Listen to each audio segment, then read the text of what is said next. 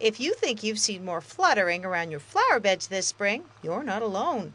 Butterfly sightings are flying into John Klymko's office from all across the Maritimes. This spring was an exceptional year for many migrant species, uh, things like red admiral, American lady, painted lady, and question mark. Many of the species that come back to eastern Canada every spring after spending the winter in warmer climates. The very warm spring uh, experience throughout eastern North America has allowed them to reach very high numbers, and they arrived in the Maritimes very early and in huge numbers, and also across all of eastern Canada.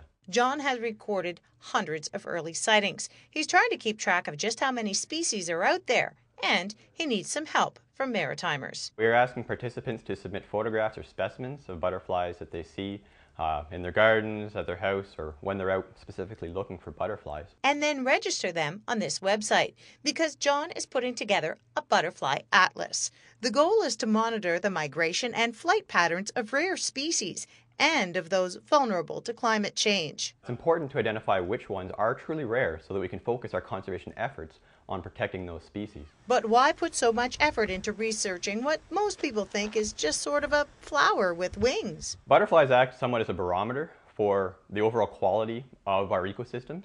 So when we start losing rare species, it just indicates that we're having an overall degradation of those ecosystems, which I think should be cause for concern for we all rely on those uh, for our food, for our living. So the butterfly is much more than just a pretty bug.